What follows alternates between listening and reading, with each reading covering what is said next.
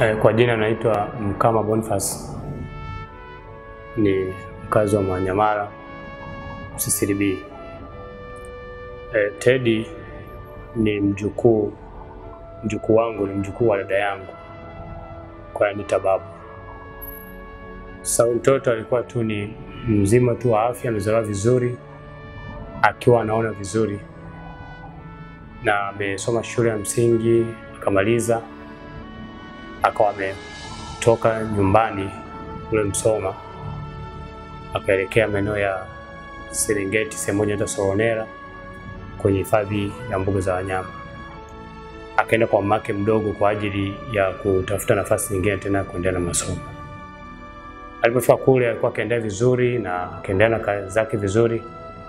Ghafla tu mwezi wa kumi na moja mwaka jana 2016 mtoto huyu alionekana haoni.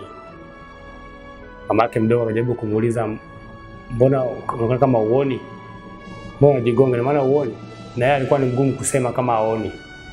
Ajaribu kupambana, wakati mwingine akifika kwamba ni hali ya kawaida, anaweza akafikia sehemu akaona, lakini uwezekano kuona haukuwepo kabisa. Na ikafika mahali wakajaribu kumuuliza kuna kumetokea nini huko, kwa maana kwa anatoka kanisani ikasemekana akasema hakuna kichotokea, yani ghafla tu amekuwa katika hali ya kutokuona. Basi mama yake mdogo alimchukua akampeleka hospitali ya National Park pale Seronera, hospitali ya Tanapa pale. Baada ya kuchunguzwa kuangaliwa, ikawa tatizo lake ni kubwa, kwa hiyo akapewa rufaa ya kwenda hospitali ya mkoa wa Mara. Alipelekwa hospitali ya mkoa wa Mara. Hapo alipofika alifanyiwa uchunguzi na kuchekiwa ilikuwa tatizo lake ni kubwa zaidi na pale hawezi kulishughulikia. Kwa akamwandikia barua ya rufaa kuja hospitali ya CCBRT. Alipofika hapa tulimchukua kwa sababu barua ilielekeza mara mbili Muhimbili na CCBRT. Kufika Muhimbili tukaelekezwa kwenda CCBRT. Kufika CCBRT akafanyiwa vipimo. Baada ya kufanyiwa vipimo ikaonekana alipatwa na presha ya macho ambayo ilikuwa kwamba pressure ilipiga vibaya na ikawa imeua jicho moja. Jicho moja lilikuwa lina hali mbaya na lingine la pili uwezekano wa kutibiwa pale au kuwepo. Kwa hiyo tukaandikiwa barua nyingine ya tukashauriwa kwamba tutafute namna ya kutafuta hospitali yote ambayo ziko nje ya nchi, tutapewa taarifa. Kama tutakuwa na uwezo wa kumpeleka nje ya nchi, basi ni vizuri tumpeleke hospitali inaitwa International High Hospital na ndipo au tumpeleke KCMC Moshi. Wakati nafanya mawasiliano, tulitafuta hospitali tukaipata, tukafika hapo, tulipokelewa vizuri, na baada ya mapokezi hayo akafanya vipimo, ikaonekana jicho moja aliwezi kupona kwa sababu amecheleweshwa.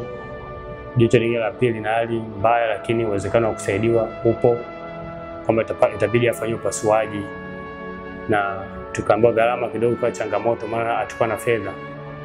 Gharama ilionekana kama dola elfu nne.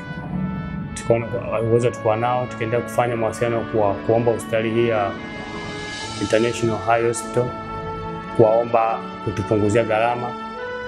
Walidai kwamba gharama namna ya operesheni yake ni kubwa na ina vifaa vyake maalum ambavyo gharama zake pia ziko juu, lakini kwa sababu tu ya nishukuru tu Mungu kwamba ilikuwa ni mpango wa Mungu kwamba walituita baadaye wakajaribu kujua hali halisi ya uwezo wetu ukoje, na walikubali kushusha gharama hadi kufikia milioni tatu kwa ajili ya operation ya huyu mtoto, ukizingatia kwamba mtoto mdogo hawezi kutembea katika hali ya upofu katika umri huo. Basi wakakubali tu kumsaidia, akafanyiwa upasuaji kwa mara ya kwanza. Afanyiwa upasuaji jicho moja, alikaa siku nzima akiwa ameinama, hakuruhusiwa kuangalia kitu chochote siku kama tatu mfululizo akiwa ameinama. Baada ya hapo, tulikuja hospitalini akaruhusiwa kuwa au ana, anaanza kuangalia lakini akiwa ameinama. Siku nilipotoka cha ajabu, ile mtoto baada ya kutoka tu nje ya hospitali, kwa sababu tuko niko jana hiyo na eneo la barabara kubwa ya Bagamoyo Road, kila tupo tukija, ananiuliza anasikia mvumo kana kwamba kuna mvua inataka kunyesha. Nikanishagumbia kwamba huenda ni sauti ya mgurumo wa magari lakini sikio cha ajabu, alipotoka tu nje ya hospitali alishangilia ghafla kusema, nimeona nimeona magari. Basi baada ya kushangaa mimi nilishikwa na butwaa kidogo ni, nika, nika, nikaanza kuwa na mashaka, mtoto amechanganyikiwa, maana alikuwa ni mkimya, alikuwa aongei mara kwa mara baada ya kupata tatizo hilo. Akafurahi sana, kaniambia nimeona magari. Basi wakati natembea nikamsihi kwa kutokana na maelekezo ya daktari kwamba hapaswi kuangalia kwenye mwanga mkali, nikamsihi kuendelea kuinama.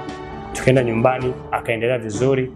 Baada ya kama wiki moja akaruhusiwa kuwa anaangalia na nikaambiwa kwamba nisiwe namshika mkono tena kwa sababu ana uwezo wa kuona, basi awe anatembea ni mwache tu atembee peke yake. Tulipokuja hospitalini siku hiyo alitembea peke yake na kila kitu alikuwa akionyesha anaona. Daktari alipomwonyesha vidole akamwambia vidole vidole viwili, akajaribu kumwonyesha namba kwenye ukuta pale, akaangalia akazisoma.